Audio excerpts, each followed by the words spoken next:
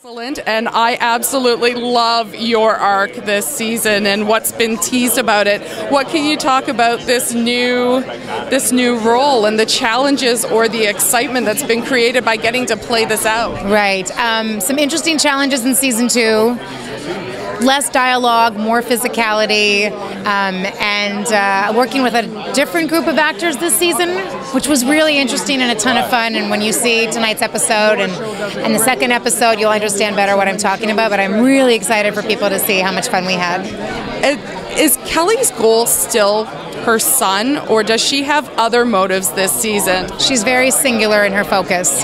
When the season starts out, it's it's all about Zach, and the master has bestowed upon her some special abilities and let her on a, out on a very long leash to do both his bidding and her own.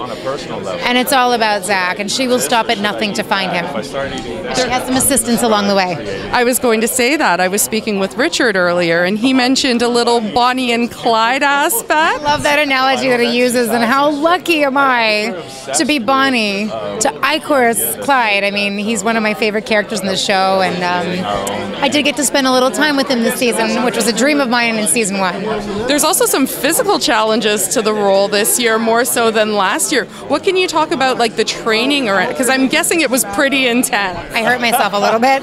I, I took various movement classes and a physical theater workshop, and I took some Muay Thai, and just knowing what it might feel like to be able to inflict pain while just standing still, you know. And she also has some, as I said, some assistants who do her bidding, but trying to feel a little bit more foreboding because I'm a pretty harmless person normally, um, and just being having a more of like visceral approach to performing was really great. I didn't have to think as much about dialogue this season, and I just got to focus on other things that I really enjoyed. Is Eph in her like? periphery at all right now? Is he does he mean anything to her in her current state? I think he's in the way.